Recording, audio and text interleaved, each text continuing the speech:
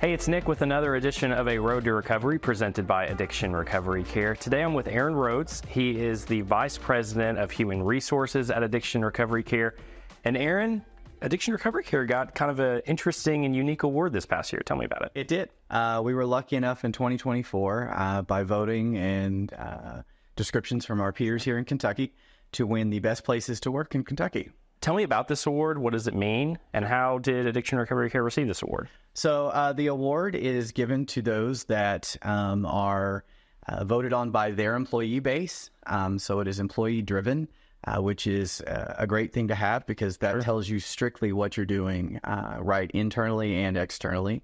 Um, but more importantly, it shows the community uh, that addiction recovery care uh, is a definite place that they want to be and they want to work, uh, that our clients and patients want to come here uh, because they're getting care from uh, ex- exceptional uh, employees and, and happy employees. Um, this particular award actually competes with those that have 500 plus employees in the wow. state of Kentucky. Uh, so large healthcare systems, large manufacturing type places, you name it, large banking industry. Sure.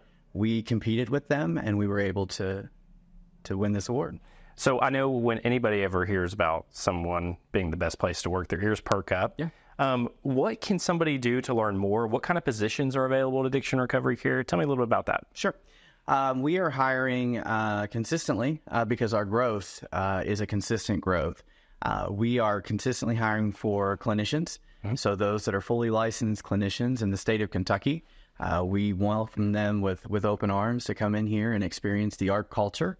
Uh, we're hiring peer support specialists uh, to really get down and work with each of our clients and patients as they work through their mm-hmm. their road to recovery uh, and be there for them. Uh, and then additionally, we are hiring for uh, client care specialists, and those are the really those frontline individuals that are there day in day out with our clients and with our patients. And if somebody wants to see all the jobs listed, where do they go? You can go to our website at www.arccenters.com. Cool. Uh, you'll find the job opportunities link, and it will have all of the jobs that we offer across the entire ARC organization. Cool. All right. Well, Arron, thank you so much. That's super interesting.